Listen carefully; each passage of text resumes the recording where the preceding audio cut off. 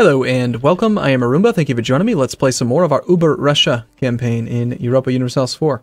So we've got uh, another colony finished, uh, another one on the way, and it's working out pretty well. We've got, you know, some people here. Is it just me, or would this little this little thing make more sense if it just said the number? You know, like, just say the number. Like, why why do we have to hover over the slider? You know, like it's nice that you can see it over here, but like, why is it a slider? Like, why is it this bar? It doesn't. I don't. I don't get it. What's the purpose of it? I mean, it's like one of those things where you would you would hover over it one time and see that oh, I have to get to a thousand for it to become a city, and then from then on, you know that it takes a thousand. You wouldn't need this slider, the percentage filler thing. Weird.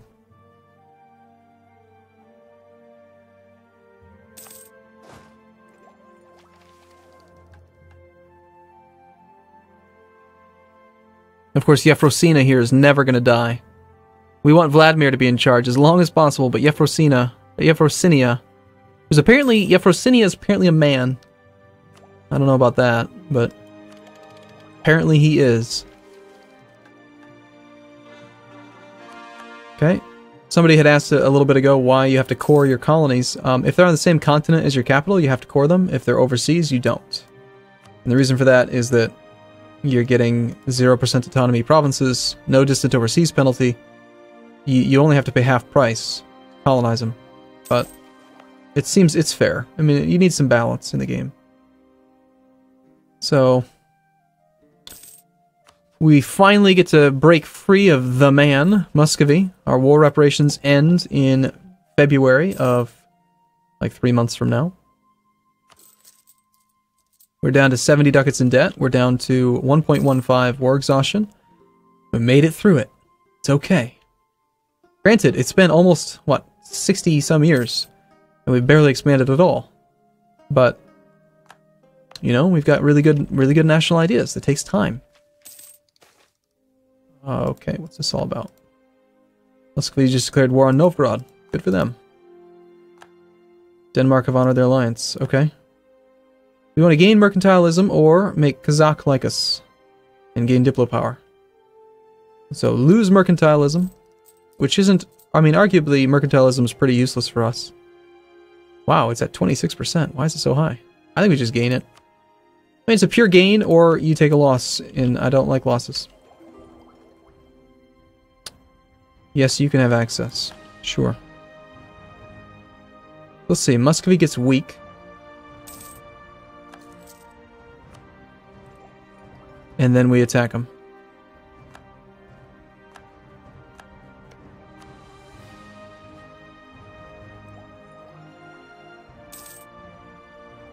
Also, we're waiting on Nogai's truce, which expires in right now.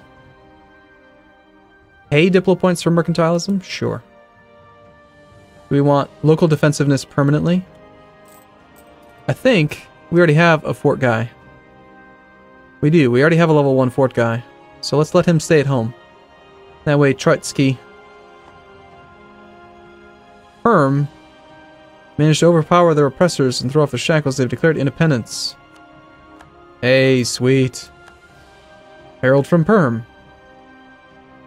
I, uh... Let's see. You're Jewish! Perm is Jewish! Why are they Jewish?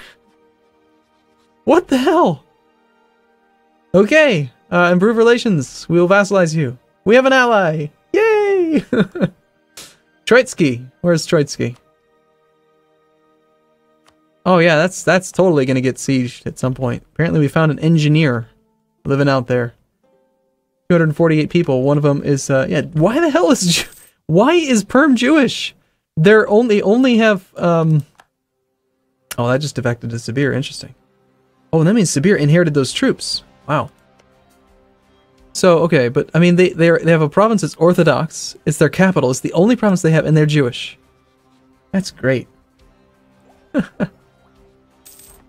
that is amazing. We're gonna vassalize them and then annex them. And just that's all we're gonna do. Very simple. No point in attacking.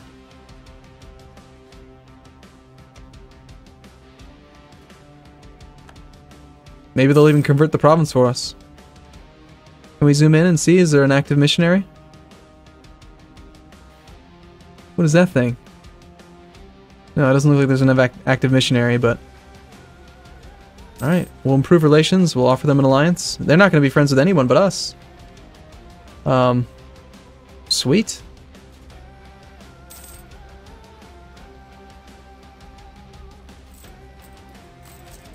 We still owe 34 ducats. We're rolling in the dough. Picking up a lot of inflation, though.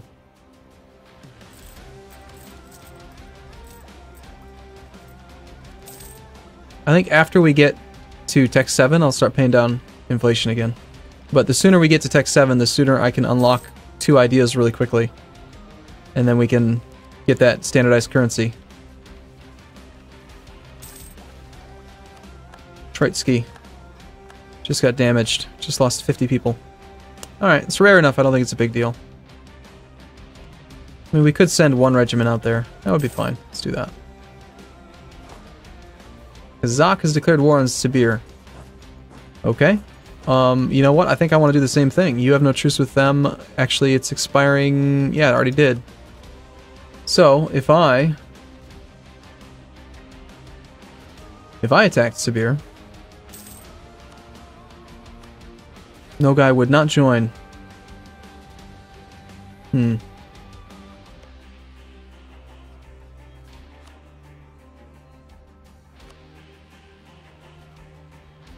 I just want to keep on colonizing along that northern top part. Sibir's only tech 5, so we have a 3 military tech advantage if we attacked them.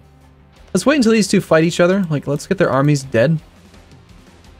Sibir's apparently down here in Ars Aksari. Sibir has how many troops? 6k. You know what? I think we might be able to just sneak in there and do it.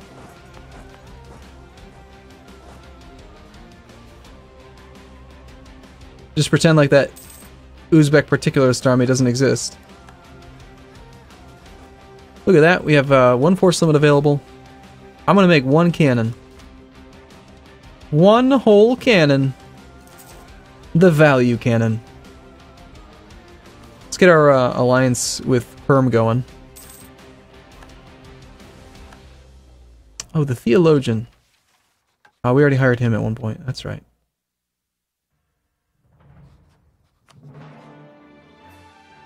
Alright. Perm has decided now they want to improve relations with us. Perm would not join. Distant war. That's fine. I don't need your help. The drunken conquest of Agan. So we're just going to march around and go for the one province.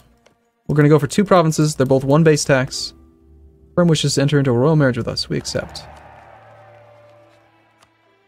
We'll keep improving until we can get them high enough to offer vassalization.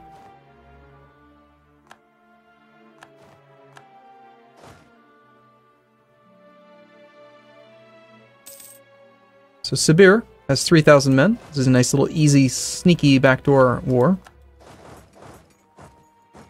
We do have our cannon. Let's bring him over to Agan.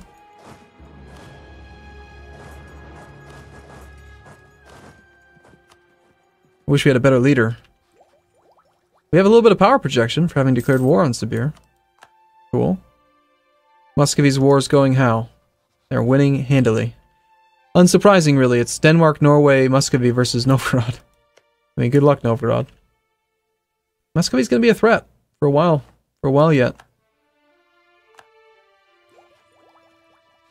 Shall we take the military tech level now? Look at the tactics advantage that'll help out with sieging.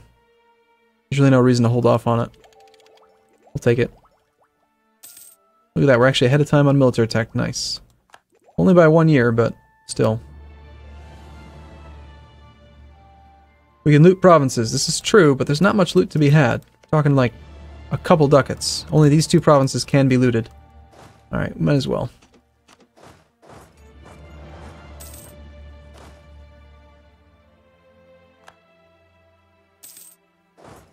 Did we not loot it? We did. We just didn't see the pop-up.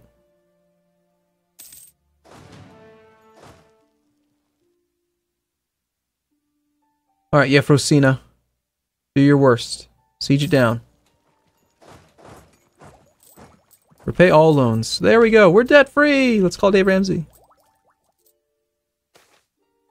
Hey, nice. We'll take the manpower. Our fortress is under siege. Okay. The life of a steppe warrior. Reducing the attrition that they take. And yet they're still suffering 4% anyway. Well, that's interesting. Does that mean that the minus 20% is not working?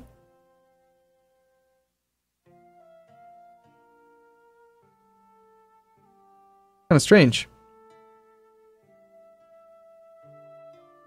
I think maybe because they're suffering attrition due to scorched earth.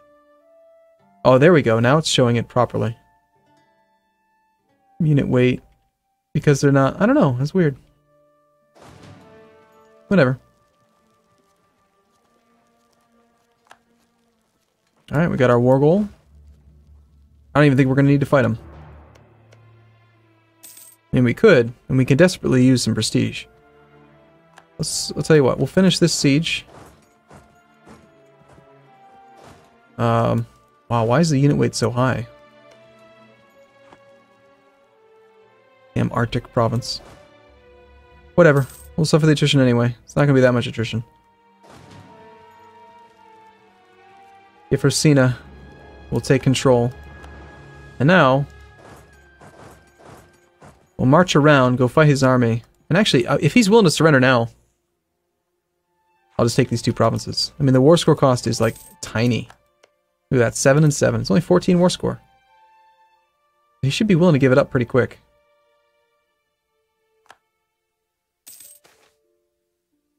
Okay, the posture, the population. I feel like 250 colonists, that's probably worth the money. Even though now we have to immediately take out loans again.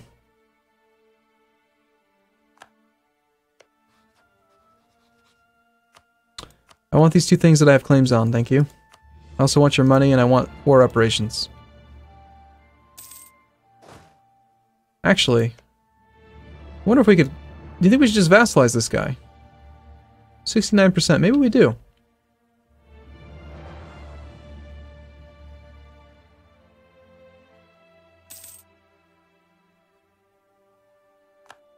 I don't know. I mean, I um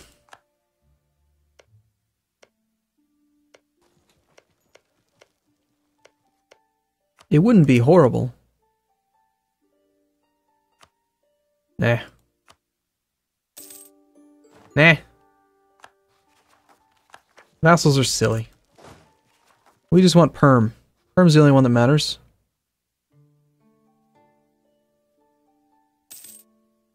If we did that, we'd end up fighting Kazakh, and I don't want to fight them right now. I just want to. I just want to let my war exhaustion come down. We still aren't down to zero war exhaustion. Relax. People are saying in chat that I should have vassalized. Doesn't matter, because we still have war exhaustion. We still have two provinces to convert. We still have like there's, just, there's no. There's just we were we have to expand frugal, frugally, intelligently. We're gonna ask for trade power. And now you're gonna become my vassal. Novgorod will be forced to give Muscovy 10% of income. They will cede one, two, three, four, five provinces. Again, Muscovy is just, they are unwilling to expand at a reasonable rate.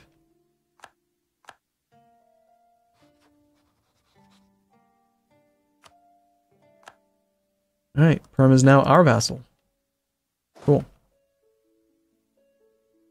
Muscovy's rivaled Sweden. I'm telling you, Sweden, we're supposed to be friends.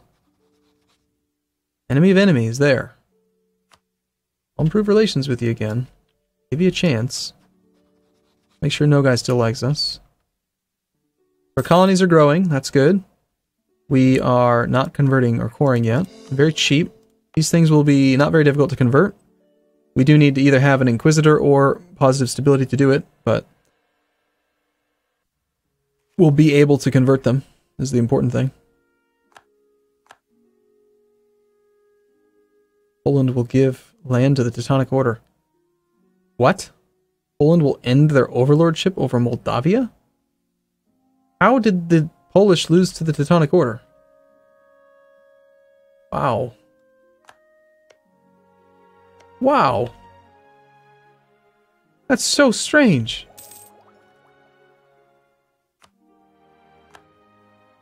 Alright, so let's check out Muscovy. They have zero manpower, 20,000 troops, tech 8. They have two of our cores.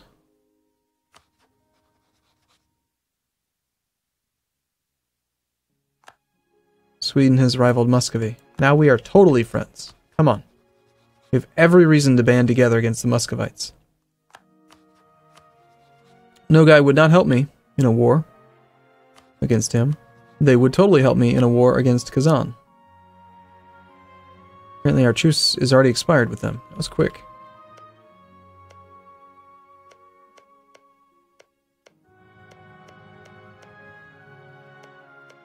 Hmm.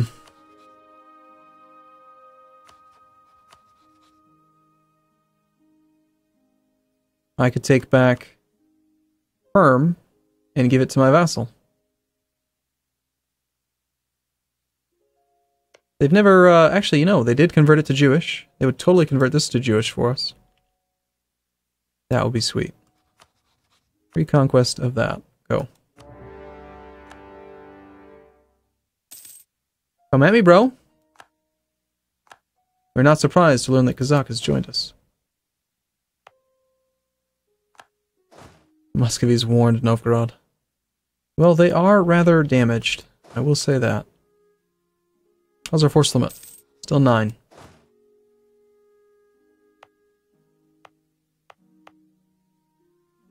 Colonies are growing. Things are looking pretty good, I have to say. He's too busy with his war with Sibir to pay any attention to us.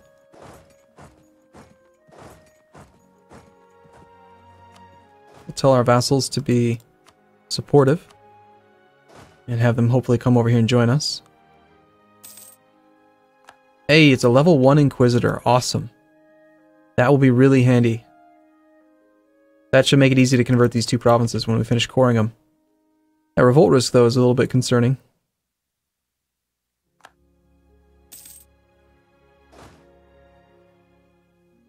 Let's let them suffer at least through one winter before we worry about trying to go in and fight him. Yay, we're dead! Thank goodness! We're 565 with a 234. I don't care, man. Vladimir. Vladimir all day. He's 34. Please don't die. Please don't die. Please. We need Vladimir. Alright, we're going to bump our stability back up because we can. Um,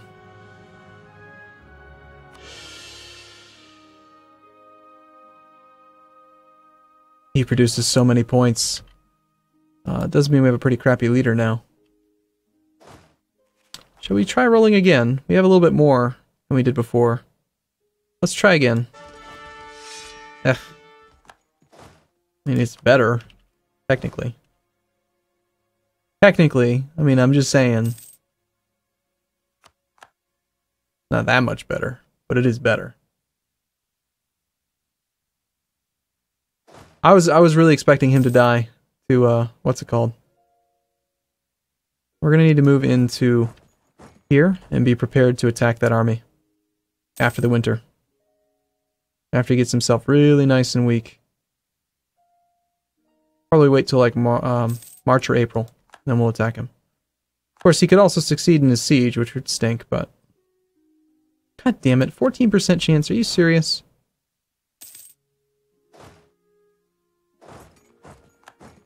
That's just rude.